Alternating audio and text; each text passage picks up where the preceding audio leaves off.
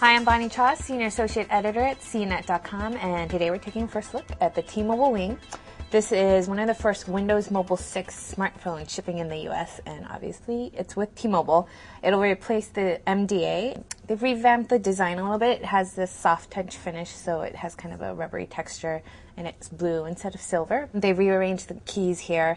It's easier to use, I think. You've got this nice spacious toggle and if you slide the phone, you got a new QWERTY keyboard. You've got square keys instead of oval-like keys. Pretty easy to use, although I wish there was more spacing between the keys for easier texting and instant messaging. Some of the features inside, you've got Windows Mobile 6, obviously.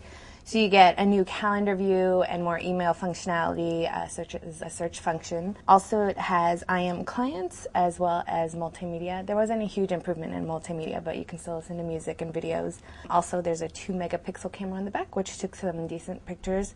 Overall, call quality was good. However, it's a little sluggish, especially when you have numerous applications open. So, also, it's only running on edge speeds for internet access, so it's kind of slow compared to 3G phones like the Cingular 8525. At launch, it'll be $299.99 with a two year contract, and it's a powerful smartphone for T Mobile.